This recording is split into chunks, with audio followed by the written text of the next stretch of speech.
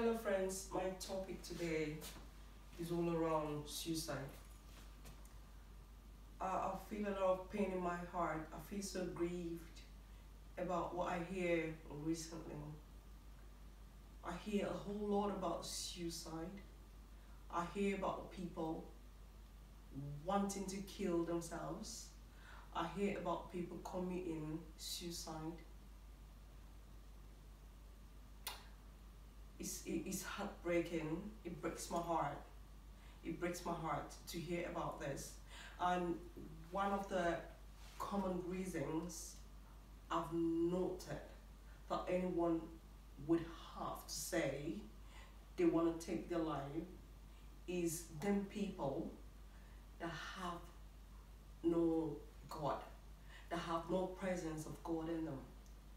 Because they feel they're all alone, they feel they're grieving all by themselves. So they think there is no alternative to life, there's no alternative to whatever they're going through, which results them to taking their own lives. I have a message for us today. I plead with each and everyone out there that, that would think whatever they're going through will result them to wanting to take their own lives. I plead to them today for them to sheathe their sword.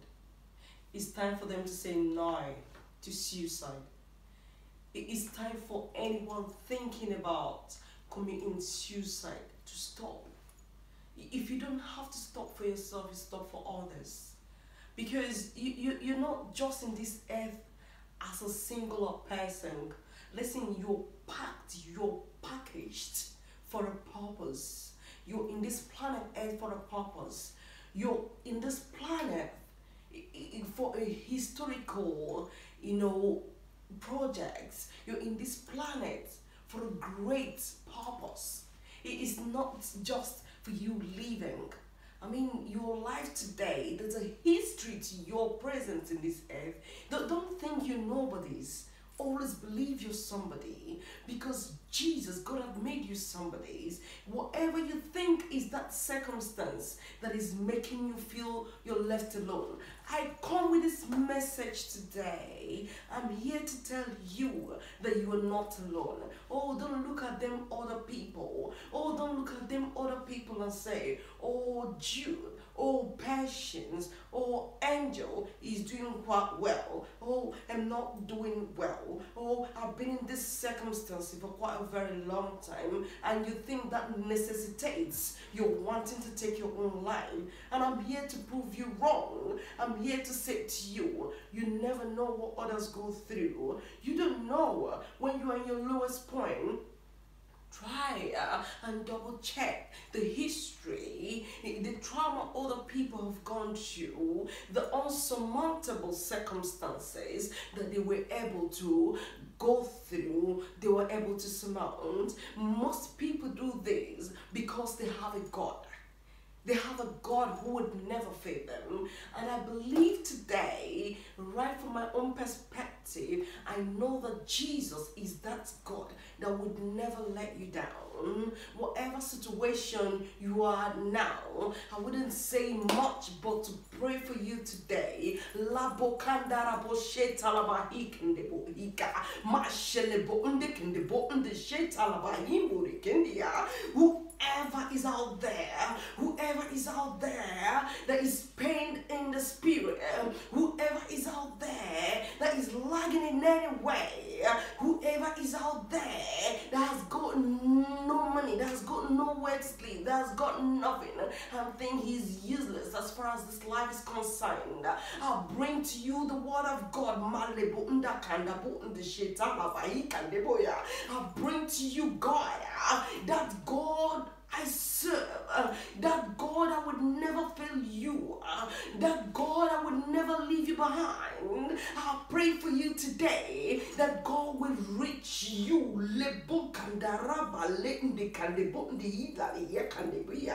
You would have been in the hospital bed for quite a long time. Lama reba katasata batali yaka. I pray that you will rise up.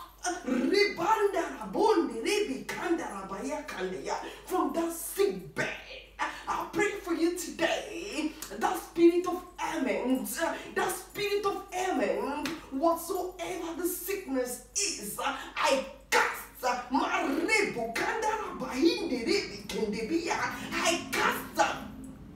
I destroy every spirit of pain, every spirit of agony, every spirit of backwardness, every spirit of waywardness. I crush them and bring them to naught.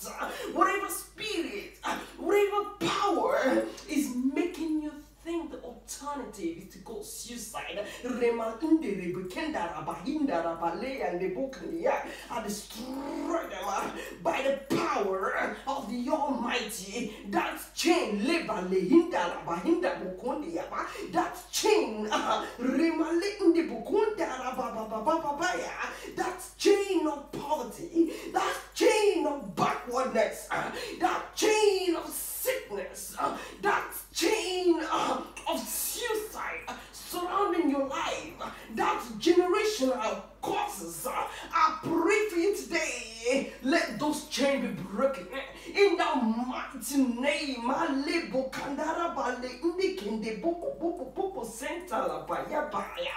By the name of Jesus, I pray for you today.